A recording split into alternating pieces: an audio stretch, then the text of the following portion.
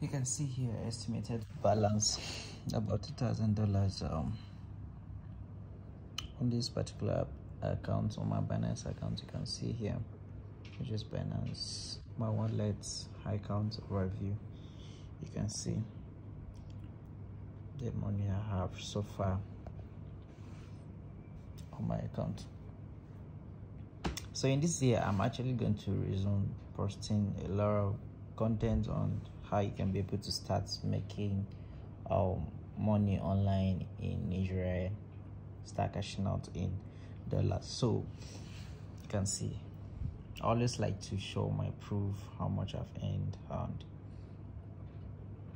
money I have on my wallet or anything I I did and I make money. So actually gonna start taking you guys step by step on how you can be able to start making money online in Nigeria and start earning in dollars. As, as of today, dollar is at least equivalent of 1,500 plus right now.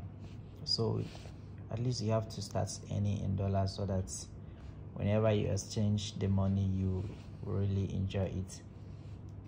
So I'm going to be teaching you guys things I literally do and make money online in Nigeria can see. This this is two thousand dollars. So if you calculate this money one thousand per dollar one thousand five hundred per dollar then you calculate the money then you see together let's say um